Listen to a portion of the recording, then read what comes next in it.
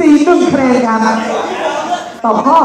หนึ่งคะแนนข้อที่หนึ่ง I am obliged to you คำนี้แปลว่าอะไรอะผิดครับคือด้วยขอไข่ขัดสนผิดครับอะอะไรวะขอไข่ออ่างขอโทษผิดครับขอบคุณครับหนึ่งคะแนนครับขอบคุณอย่างสูงครับ obliged คำนี้ข้อที่สอง I can't be ฉันไม่ได้เออเดือดร้อนไม่ได้ถูกกดใจข้อที่สาม same to you ข้อละหนึ่งครับหนึ่งด้วย same to you ข้อที่สี่ thankful ขอบคุณเพียงทุกหนึ่งคะแนนครับทำเฉลยเราได้ไปแล้วนะครับถึงข้อที่สี่หน้าถัดไป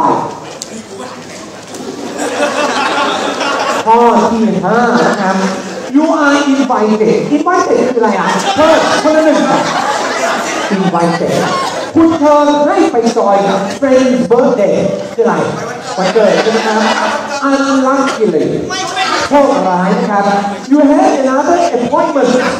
มีนัดอื่นหนึ่งคะแนนครับคนละหนึ่ง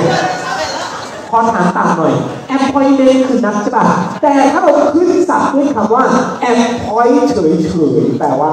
นักเทคผิดครับ appointment นัดใหม่ตัวอย่างเช่น ถ้าเราพูดอังกฤษนะ he was appointed to be the manager he was appointed ไม่ถูก he was appointed to be the manager so he ตอนแรกไม่ใช่ manager ใช่ป่ะ and then he was appointed แต่งตั้งครับหนึ่งครับเลื่อนตำแหน่งหรือแต่งตั้ง appointed ต่อไปอ่าเขาเนี่ยมีนัด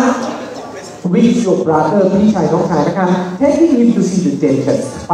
หาหมอนะครับ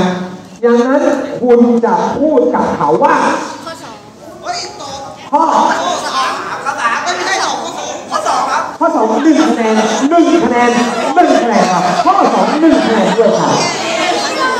ข้อที่สองนะครับ